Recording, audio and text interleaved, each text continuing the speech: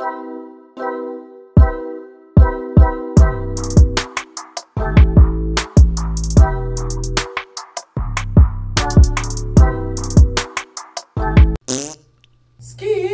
your boy B Giv back with another banger. Thomas Sowell, Border Crisis. What the left gets totally wrong. What the left gets totally wrong. Border Crisis. Border Crisis. Thomas Sowell. Thomas Sowell. I just want I had to say all those a few times. You know what I'm saying? This shit. Listen, bro, this some real shit. Border crisis, this shit's going on now. What the left gets totally wrong, psh, come on. Thomas Sowell, come on, he's yeah, very articulate. He finna lay it out. Eight minutes, so that's pretty long. I like that. I like that. We're gonna go ahead and get involved, man. Hit that like, hit the subscribe. Let's get it. if we're a land that in God we trust, and Jesus says, "Let the children come to me," wouldn't you agree that we need to open our arms to Mexico?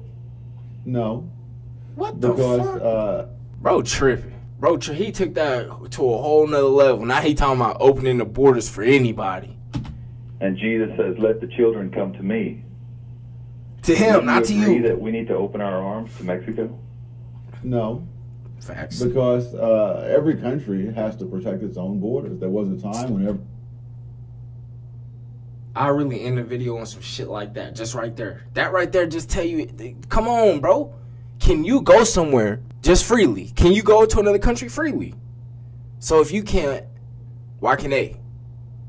They're protecting their country.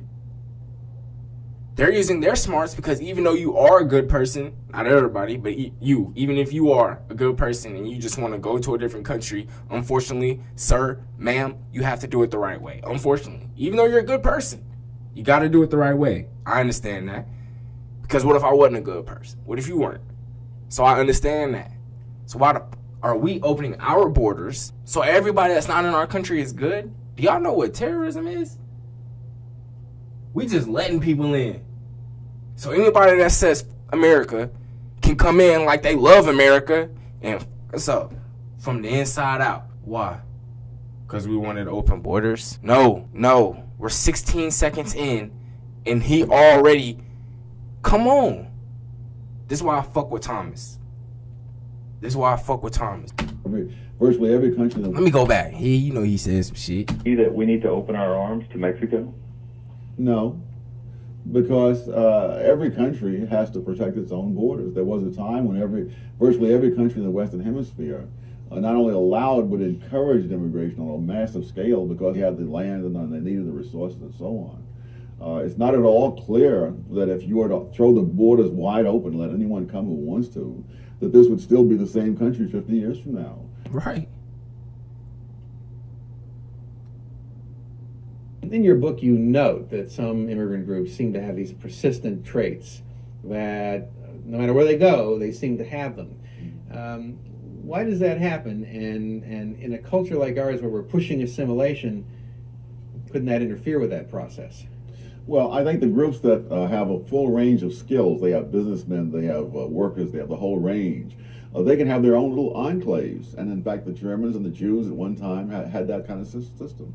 Uh, you could live on the Lower East Side of New York and you have your own doctors, your own businessmen, your own stores, everything, uh, speaking Yiddish every day without a word of English, and go on and live a lifetime that way. Is that good? I mean, Uh, Well, uh, it has its pluses and minuses. But if you have a group that is mostly unskilled workers, then they have to work for somebody else, and they have to be able to under, understand somebody else's language, and so it's crucial for them to acquire to acquire most the Americans, I know most of the viewers out there, you would want uh, immigrants to speak English. Uh, Most most of the immigrants themselves want to speak English. One the reason there's a Facts. controversy is that you have many activists, both from within the group and people in the larger society, who want to keep them foreign. But most of most of the, the immigrants themselves want to become Americans. self-appointed do-gooders. They can. Listen, you can come over here and be a citizen, fam. Nobody said you couldn't do that.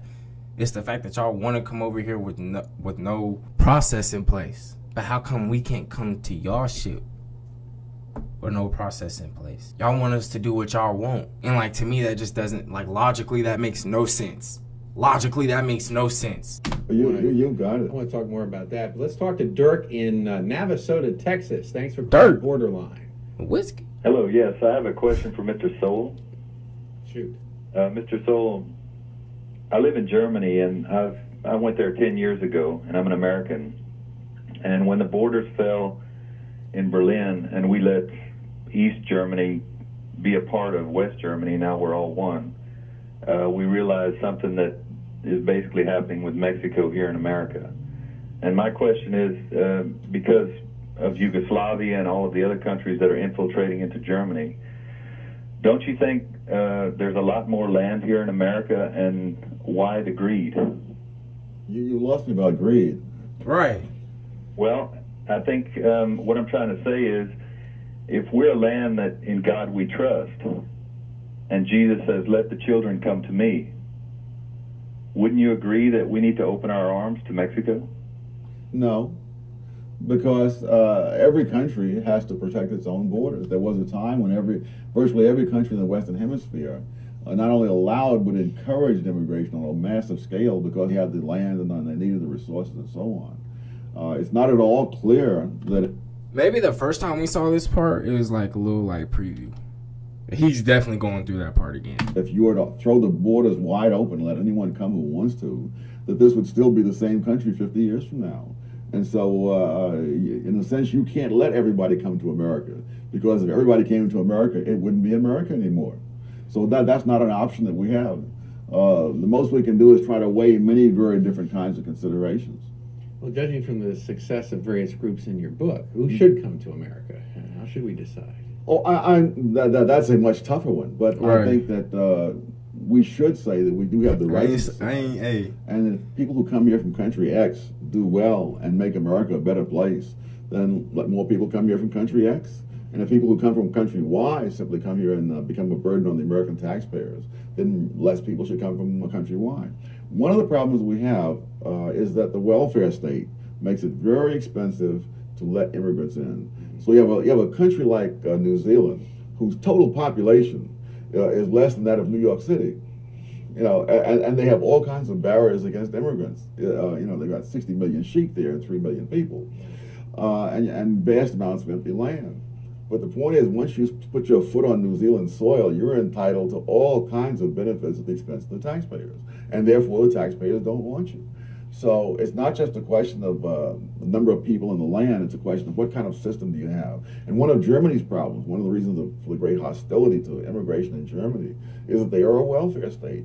If this was a place where you, sh- you come in and it's up to you to support yourself, I suspect you'd have a lot less resistance, resistance to immigration. When Exactly. only 2% of immigrants from Japan to the United States go on welfare, while 46% of the immigrants from Laos do, there is no single pattern that applies to all immigrants. Everything depends on which immigrants you're talking about and which periods of history. Okay, here's the assignment. The period is today, and the immigrants we're talking about are the roughly 11 million, that seems to be the best estimate, roughly the 11 million who are in this country illegally, overwhelmingly from Mexico. President Obama has issued an executive order protecting about 5 million of them from deportation and other legal penalties. A humane act. Well, see, one one of the things about the immigration debate is they talk about immigrants in the abstract, and there are no immigrants in the abstract, as that passage indicates. And we don't know who those people are that, that are here. They may all be PhDs from the University of Chicago, in which case they should all stay. Or they may, may, may in fact be people who uh, uh, majored in sociology at Berkeley, in which cases get them all out of here uh, as soon as possible. Uh, you know, but we don't know. That that's one of the problems of uh, so-called immigration policy. We don't have an immigration policy unless we control the border.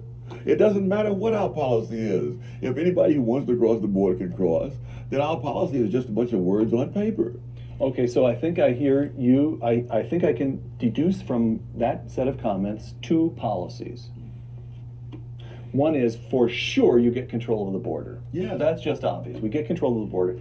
But from that point forward, you're as dubious about the editorial position of the Wall Street Journal, mm-hmm. which is consistently Oh. pro immigrant, as you are dubious of the President of the United States, because your point is neither one of them really knows in enough detail who these 11 million people are, whether they're doing net good or harm to the economy.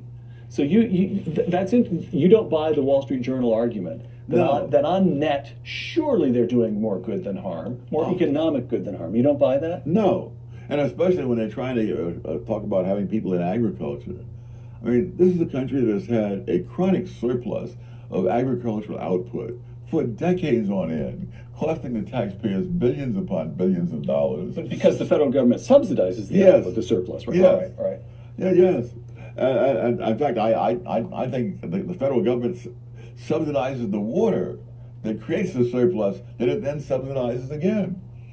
Uh, and I I think I think that that uh, any discussion of, of people in the abstract drives me crazy because there are no abstract people. A hundred years ago, people understood that, and so when there was a debate about immigration, there was a multi-volume set of tomes about the characteristics of the immigrants from various countries. Where, where, where do they, how do their kids do in school? They had What- the guts to be picky. Yes, They said, we'll take some, yes, but they better do us good. yes. Okay, okay. So, what kind of debate would you like to? Congress, as I mentioned a moment ago, just has just fallen to the control of Republicans, both houses.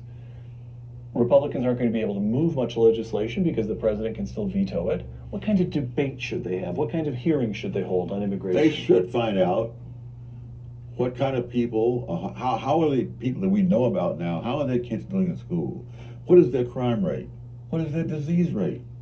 All those things, that matters. You know, I, Sure, I they even brought think out of all these kids, I said, these are just kids. Well, you know, kids do grow up and they have other kids. Uh, uh, we don't know. Maybe, maybe that's a good thing. Maybe it's a bad thing. We don't have a clue. That was a good vid, bro. The only reason why I say we should have closed borders, my reason is very logic. You know, other people aren't doing it. We don't need to.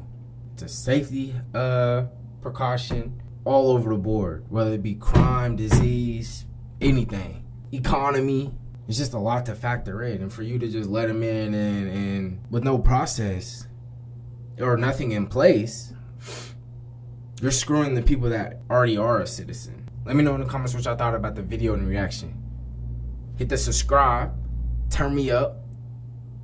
OTB Giv, out of there.